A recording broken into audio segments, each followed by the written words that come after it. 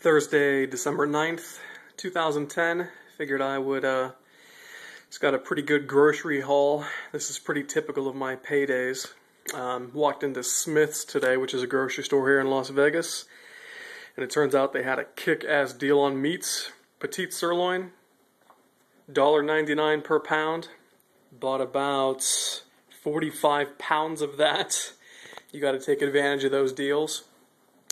Boneless, skinless Tyson uh, chicken thighs, uh, also $1.99 per pound. Got about uh, close to 20 pounds of that. And uh, other odds and ends. I keep listening to these uh, paleo podcasts who all advocate uh, these seafood products. So I've honestly I've never had sardines in my entire life, and I doubt that I'll like them. But I hear that the ones in water are a bit more tolerable, so I'm going to try these out. Got some uh, canned salmon. I got red and pink. I've actually only had salmon like once in my life, fresh salmon, and uh, I wasn't a big fan. So I bought one of each, red, one red, one pink. I honestly have no idea what the difference is, so I'll try each one out.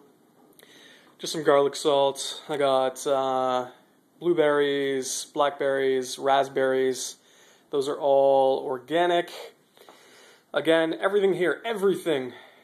It was like the store was uh, thinking about me today. was on sale. 85% uh, dark chocolate, each one of these. And each one of these is $1.50, which is a hell of a deal. That's a pretty good quality brand right there, too you know, a couple squares a day, no big deal. Um, a bunch of bacon, that is six pounds of bacon. I get the ends and pieces because usually I'm just using it to uh, sear off meats and I'll have to slice it and chop it anyway, so that saves me time and it's cheaper. Some medium cheddar cheese by Tillamook, which has none of the hormones, but then conversely, I got uh, regular butter, which does. So, but again, it was on sale, so I had to go with it. Some heavy whipping cream on sale. This is that Greek style yogurt I've probably talked about before, full fat. Um, some rice. I try to take that in moderation, but again, it really helps to liven up the meals.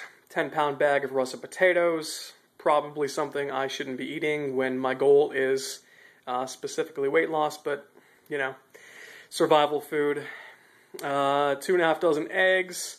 I'll go through these in less than a week, and I'll have to go back and get more.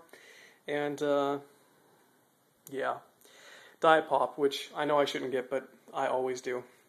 Anyways, decent grocery haul. I love when the receipt says you saved nearly $200 today. Um, so all of this right here, which you know should last me a couple of weeks, the meat even longer, uh, came to about $169. So pretty good. Going to go back to the store here in a couple of days, get some more fruit and veggies, but this is the bulk of what I eat. And uh, most of the spices, and I have some olive oil and coconut oil and cornstarch I do not eat. Some lard, all that fun stuff. Flaxseed, which I, I don't really take, but we have it up there. There's also some sunflower seeds, a bunch of different teas, Splenda, which I try to use about one packet per serving of the tea, which actually one packet per 40 ounces of tea, so way less than most people would take. A bunch of green teas, organic, organic green teas. This uh, slimming green tea that a friend of mine sells, I'm supposed to try it out and review it. I haven't done it yet. Um, I'll need a lot more freezer bags, but um, cast iron pan that I've actually never, I've had this for probably eight months now, never washed it once. It's finally getting to the point when I can uh, cook eggs in it because it's finally non-stick. but um, water cooler, big part of my uh, intake. But yeah, that's it. Asshole cat who uh, always jumps up onto the counter. But yeah, that's it. Decent grocery haul, and uh, that's all for now. So, oh, also, started running this week, um, and then shortly after, twisted my ankle. And I legitimately twisted my ankle. I'm not to pan down to the ace bandage underneath my sneaker, but uh, I twisted it really bad. Uh, bad to the point that I'm surprised I'm even able to walk today. So, but there is some swelling, no bruising, so my running career, at least this time around, is cut short, but I'm hoping to uh, be able to start that back up next week. And uh, weightlifting, again, renewed intensity, so that's going well. Although squats and deadlifts may also have to be pushed back to next week with a gimpy ankle. Um, that's all for now. So, thanks for watching, thanks for subscribing, and until next time.